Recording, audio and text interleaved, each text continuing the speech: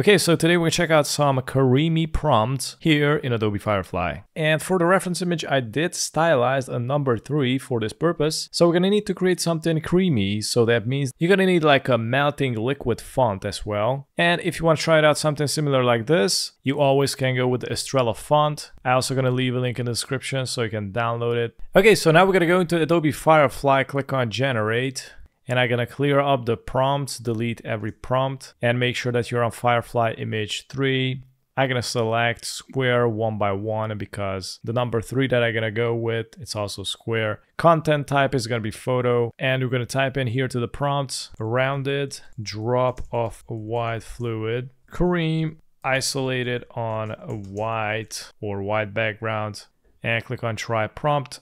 And I'm gonna go and select one of these Click on download and we're going to use them as a reference. If you don't like them, you can click on generate some more. So after you are satisfied with the results, you can go here to the structure reference, click on upload image and select the number three, click on open, continue, increase the strength all the way to 100, scroll down, and here we got the style, visual intensity. We're also gonna upload the reference image here with those screams, and I'm gonna select this one for example, click on open, and I'm gonna decrease the strength and visual intensity click on generate. And uh, voila.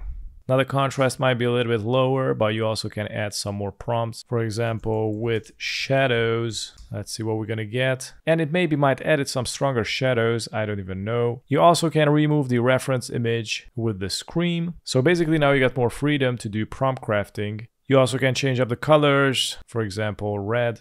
You also can change up the background. I'm gonna go with blue and it's that simple. And this was it for today. Thanks for watching.